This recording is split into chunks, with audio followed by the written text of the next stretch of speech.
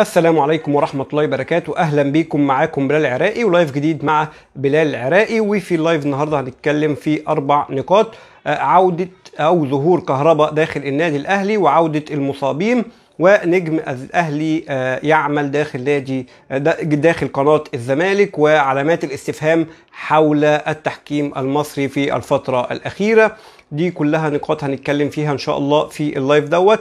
ما ننساش طبعا في البداية like و share للفيديو. ولو مش متابعينا على الصفحة يا ريت بعد إذنكم تتابعونا.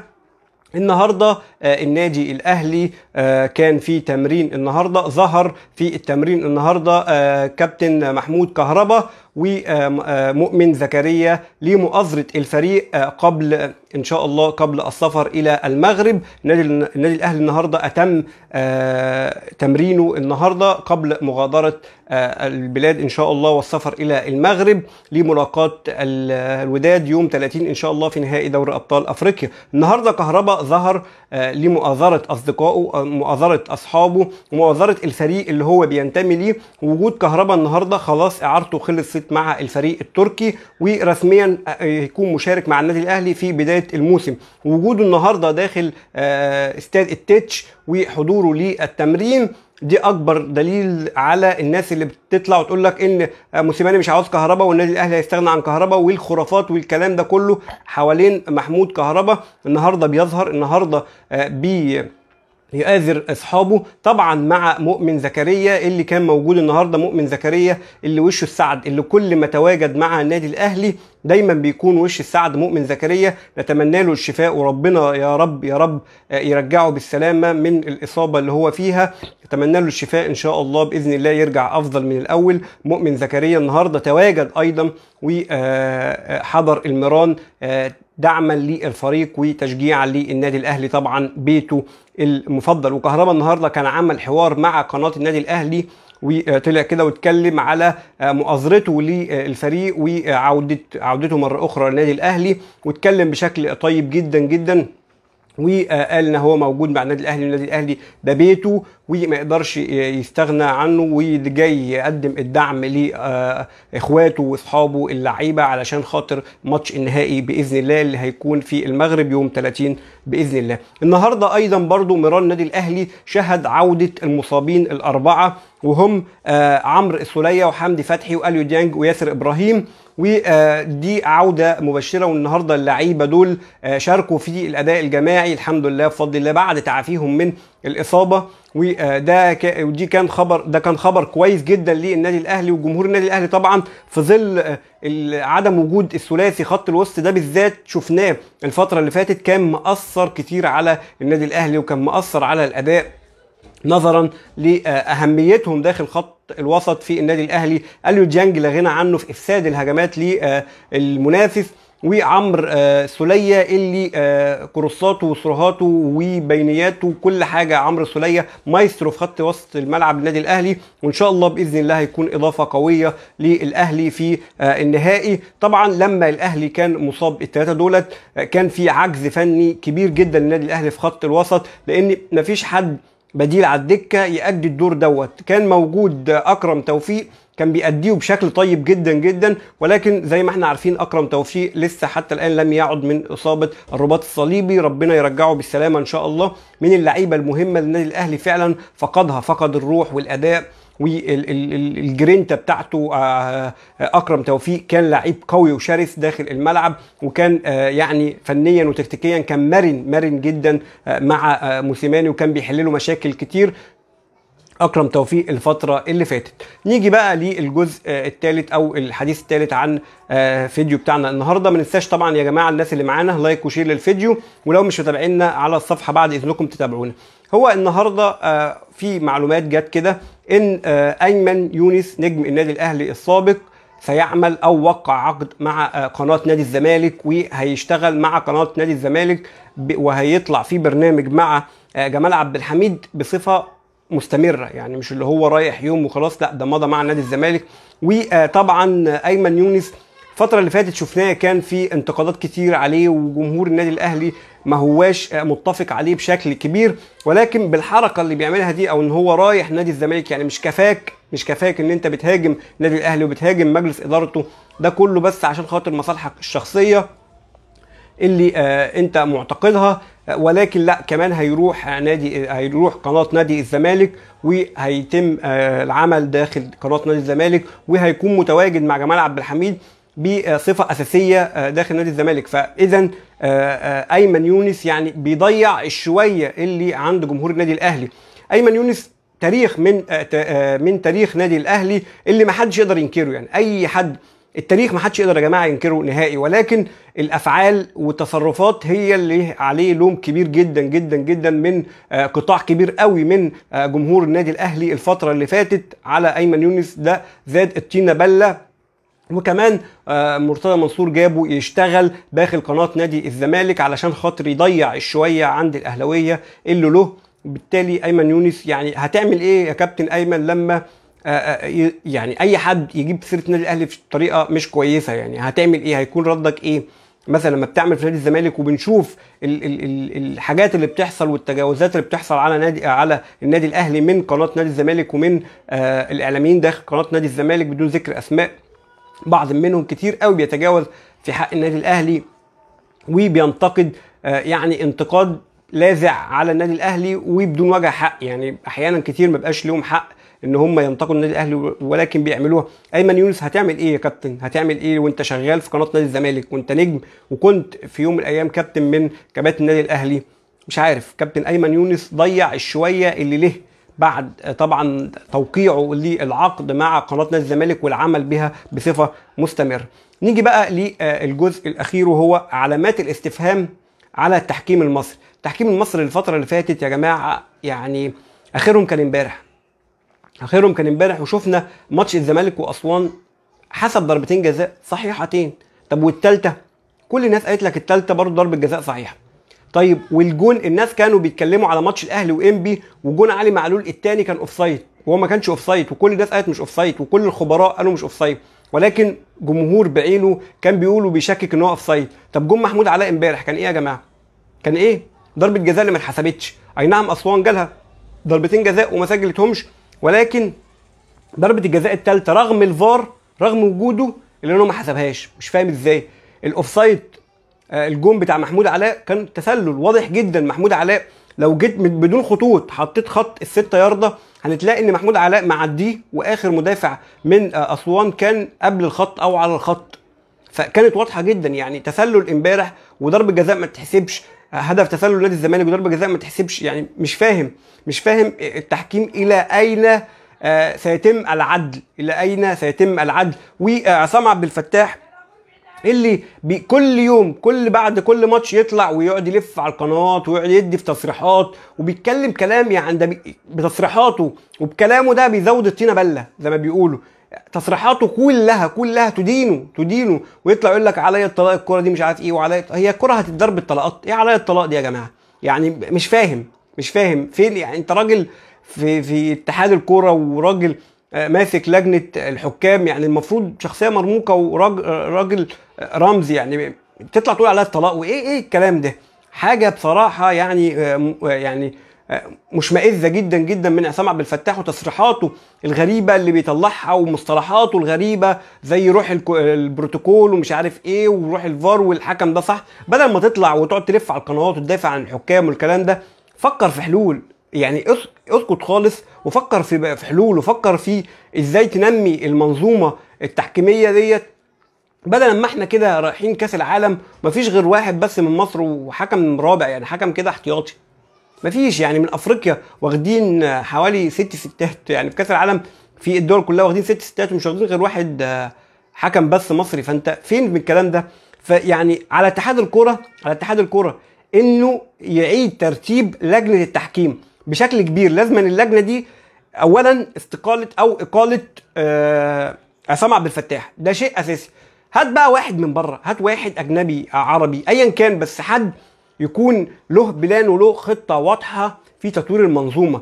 هاته عينه كرئيس لجنة التحكيم. هات واحد أجنبي. مش مشكلة. مش عيب على فكرة. مش عيب إن إحنا آه نجيب حد نستعين بيه عشان خاطر يطور لنا جزء ما آه داخل ال- الرياضة المصرية. مش عيب خالص. هات حكم أو آه، راجل يكون محاضر كبير في التحكيم حد معتمد من الفيفا يجي هنا مصر يتعين سنتين ثلاثة أربعة تمام لحد ما يوقف لك المنظومة دي على رجليها لحد ما يطلع لك من تحت إيده حكام صالحين حكام آه، ما بيبصوش للألوان حكام بيحكموا بالقانون كما أنزل يعني زي ما الكتاب بيقول. هيكون في أخطاء بس في أخطاء يا جماعة بتكون آه، يعني وارده اخطاء بتكون خفيفه. ما بتكونش بالفج ده والتكرار ده والتكرار ده. يعني لما بنشوف ماتش أسوان امبارح مع الزمالك مش عارف. والناس طالعه تقول لك أصل جون الأهلي ومش عارف إيه والأهلي. أهلي ما أهلي فين؟ الاهلي فين؟ ده الأهلي كان حتى كان الناس بتطالب بضربتين جزاء للأهلي مع إنبي وما اتحسبوش. راح الفار وقعد كتير ما اتحسبوش. امبارح التسلل بتاع محمود علاء ما ما خدش أكتر من خمس ست ثواني وخلاص. فين الفار طيب؟ بيعملوا ال- الخطوط حتى غلط. وضربة الجزاء الثانية أو الثالثه لأسوان ما اتحسبتش. فده كل دي كلها تراكمات بتحصل. ولو بصيت بقى على مباريات كتير والنادي الأهلي شفناه في البنك الأهلي الظلم اللي اتعرض له وإلغاء الهدف اللي ما كانش ينفع يتلغي. فأنت الميزان كده يا جماعة معوج. معوج تماما. أنت في كفة آه مرتاحة عند فريق وفريق تاني تعبان. تعبان حرفيا اللي هو النادي الأهلي من المعاناة الشديدة مع التحكيم آه المصري. انت النادي الأهلي حرفيا لو جاب لو جاب حكام حاليا دلوقتي هياخد حقه لو جاب حكام أجانب هياخد حقه طب النيابة الثانية فانت محتاج حكام أجانب للدوري كله بقى.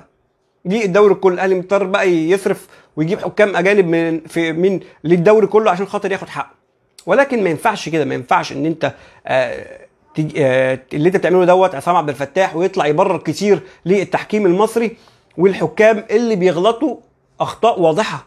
يعني طلوعك ده أصلا في ضرر ليك أكتر ما في إفادة. في ضرر ليك أكتر ما يكون في إفادة. والنادي الأهلي قبل كده كان اقترح إن أنت تجيب حد من بره وده صح. ده الصح إن أنت تجيب آه، حكم دولي محاضر هو ماسك المنظومة التحكيم وفي نفس الوقت بيحاضر الحكام آه، سواء نظريا أو عمليا بيدربهم صح بيوقفهم صح آه، في التمركزات في الكلام ده كله بيعمل لهم مباريات ودية كده عشان خاطر يطبق آه، قوانين معينة أو يحفظهم حاجات معينة. بنشوف إيه المشكلة؟ إيه المشكلة؟ أو إن أنت تخرج بقى الحكام بتاعتك بره وده هيكون صعب جدا. صعب إنك تخرج 20 30 حكم يتدربوا بره ويجوا ده هيكون صعب ماديا عليك. الأسهل إن أنت تجيب واحد كويس يحط لك خطة لمدة أربع خمس سنين قدام. يمسك لجنة التحكيم ديت وما يكونش مصري عشان ما يكونلوش ألوان ويكون واحد أجنبي محاضر آه، معتمد من الفيفا علشان خاطر يحل لك الأزمة ديت. فبصراحة التحكيم فيه أزمة كبيرة في أزمة كبيرة داخل التحكيم المصري ولابد أنها تتحل. وأنا شايف الحل هو إقالة عصام عبد الفتاح تماما إن أنت تجيب حكم أجنبي محاضر يقود المنظومة حتى آه، مدة معينة الناس تقعد معاه وتحددها وده الصح في الفترة اللي جاية. ده نتمناه طبعا في الفترة اللي جاية وإن شاء الله بإذن الله بإذن الله الأهلي آه، يوم الاثنين القادم يوم 30 آه، خمسة النهائي إن شاء الله اللي هيكون يعني أقوى نهائي الأهلي بيتعرض له في خلال ال- الست نهائيات عفوا الخمس نهائيات اللي وصل لهم النادي الأهلي في خلال آه، الست سنين اللي فاتت الأهلي وصل لخمس نهائيات. ده ده الخامس. هيكون ده أصعب نهائي لأن أنت بتلاعب الوداد فريق فنيا مش قليل آه، في قلب في قلب ملعبه وسط جمهوره. فده دافع كبير للوداد وعبء كبير على النادي الأهلي ونتمنى النادي الأهلي إن شاء الله قدها والنادي الأهلي وإدارة النادي الأهلي وعدت الجمهور بدعم آه، 20% من قيمة الت- التذكرة اللي هي آه، تذكرة اليوم الواحد آه، ذهاب وعودة بالدخول للاستاد.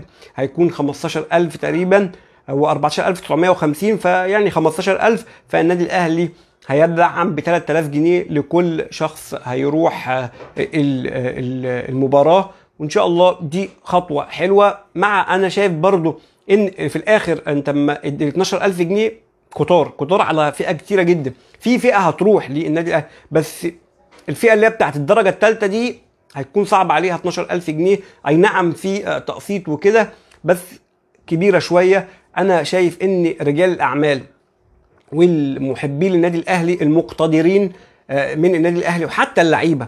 حتى اللعيبة لما تطلع كده كل لاعب يدعم آه، 20 30 50 واحد من راتبك مش يعني مش مش مش قصة يعني مش قصة. لما أنت كل لاعب في النادي الأهلي أنت عندك 30 لاعب آه، في النادي الأهلي أو 25 لاعب. لو الناس المقتدره أو الكبار فيهم أو اللي هم الفئة الأولى تمام؟ كل لاعب دعم 50 فرد هتلاقي معاك حد كويس أي مستثمر آه، أي رجل أعمال محب للنادي الأهلي يدعم بجزء برضه هتلاقي الدنيا بتمشي. اللي هو ياخدهم ببلاش يعني. إن أنت تاخد الجمهور يروح هناك دي حاجة كويسة جدا عشان خاطر تقلل من حدة ال- ال- الضغط الجماهيري اللي هيكون على النادي الأهلي وعلى لعيبة النادي الأهلي. لما انت كويس جدا إن انت خدت نص التذاكر اشتريتها خلاص فلابد لابد إن الأسعار تخفض عن كده ولابد محبين النادي الأهلي ال- ال- رجال الأعمال والناس اللي عندها القدرة إن هي تدعم ال- جمهور النادي الأهلي اللي هو بقى الجمهور جمهور الدرجة الثالثة. جمهور الدرجة الثالثة اللي بجد بجد الشباب كلها معظمها فالناس دي بتشجع بقلب. الناس دي لو راحت هتعمل لك جو كبير جدا تمام؟ لأن في في نسبة كبيرة قوي قوي من جمهور النادي الأهلي مش هيقدر يدفع ال 12000 جنيه برضه. هم تقال عليه.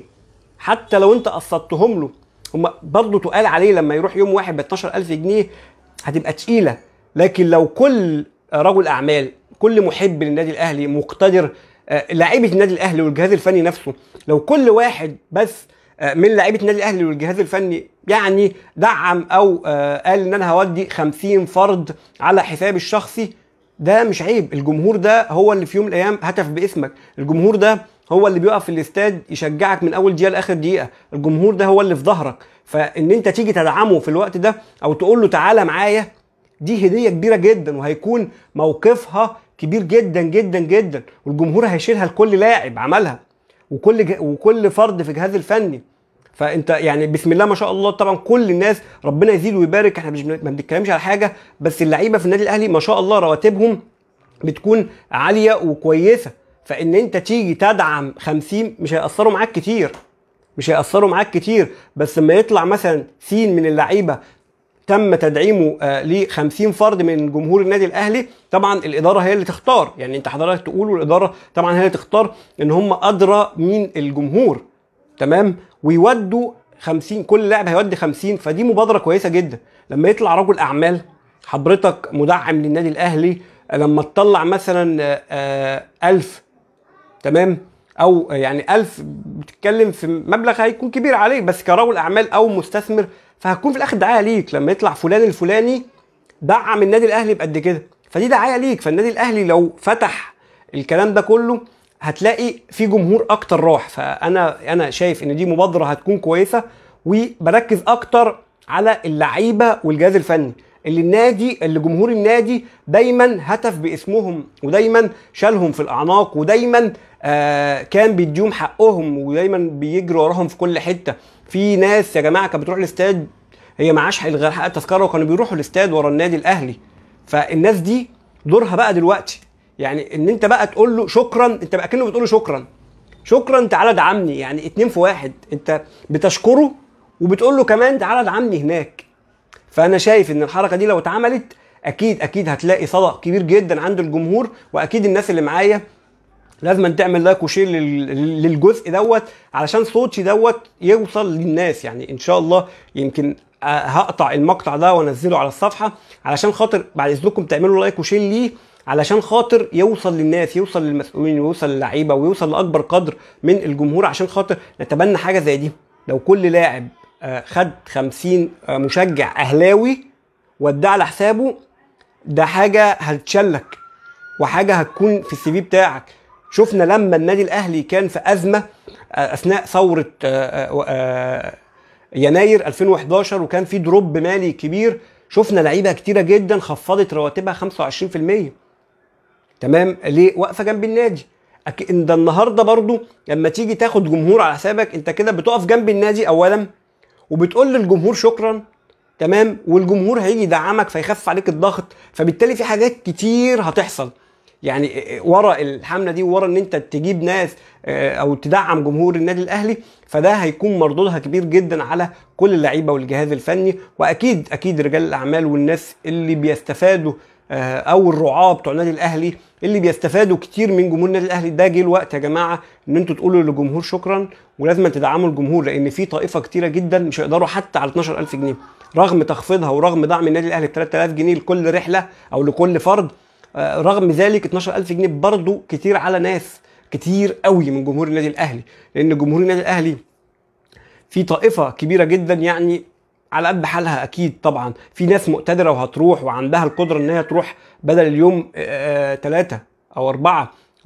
ولكن في برضو أيضا ناس مش هتقدر. فأنا شايف الناس اللي مش هتقدر دي إن أنت تدعمها ده آه، يروحوا فري تماما. ده هيكون آه، خطوة إيجابية وحاجة كويسة جدا جدا جدا. هناخد آه، بعض تعليقاتكم. آه، اللي حضرتكم آه، علقتم عليها. آه، زياد بيقول قانون الاحتواء البند الخامس ما ينفعش يحسب ثلاث ضربات جزاء على الزمالك. والله إحنا اتكلمنا في النقطة دي فعلا في مشاكل كتيرة في آه، الاحتواء وبرضو أيضا قانون الاحتواء. آه، آه، علا. آه، وزياد برضو آه، أحمد بيقول محترم حبيبي أحمد الله يكرمك الله يكرمك ويكرم أصلك. ده من ذوقك ومن أدبك وأخلاقك. آه، إحنا بس بنتكلم وعاوزين الأفضل للنادي الأهلي باستمرار. آه، دمتم في أمان الله. طبعا like و share للفيديو والناس اللي لسه داخلة ممكن تشوف الفيديو من الأول بعد إذنكم. دمتم في أمان الله. والسلام عليكم ورحمة الله وبركاته.